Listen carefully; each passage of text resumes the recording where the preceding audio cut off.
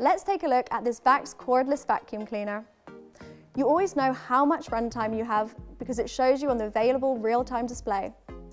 You also get spotless results in every room. It picks up all dirt and debris from hard floors and carpets.